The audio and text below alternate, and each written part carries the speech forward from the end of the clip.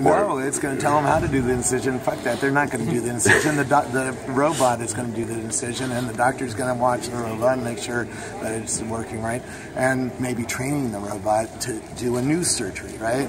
Because doing incision, uh, uh, that's already the robots in the medical in the surgery rooms already do that, uh, right? Uh, We are doing operations on your eyes with robots and artificial intelligence already because it's more accurate than a freaking doctor's hand, right? And it, it can sense the surface of your eye and line up the, the little uh, lasers that are going to cut your eye open and do various things to fix your eyes, right? And it'll probably also what tell them things like this patient might be more likely to be readmitted. This patient might also have this type of illness. all sorts of stuff that's going to be laid on top of the, your medical record. I saw uh, MRI scans that can tell whether you have cancer and what kind of cancer in the scanner. It's faster than a doctor, more accurate than a doctor, and it's laid on top of you.